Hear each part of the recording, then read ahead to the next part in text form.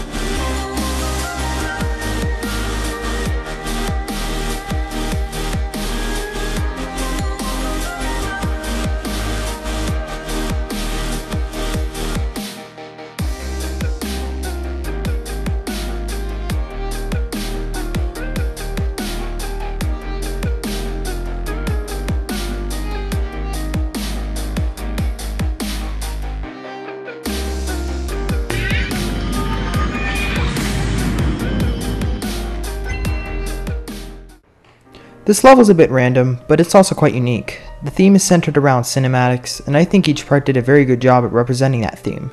However, the way the parts flow together is very random. You have this art background section at the beginning, followed by an effect based part, and then another background based part. I guess that's just to show all the different ways to express cinematics. But that being said, I really appreciate how the level isn't repetitive at all, something I find quite often in these kinds of levels. The gameplay is kind of inconsistent. It starts off with moderate gameplay, then moving on to really easy gameplay, and then a much harder part compared to the rest of the level, which annoys me a bit. Despite that, the gameplay is quite fun. Decoration is definitely better in some parts than others. I feel that there could be more air deco in the part with the gears, and more to the blocks in the part with the recording camera in the background. Despite that, the deco is quite decent, and no part looks absolutely horrible.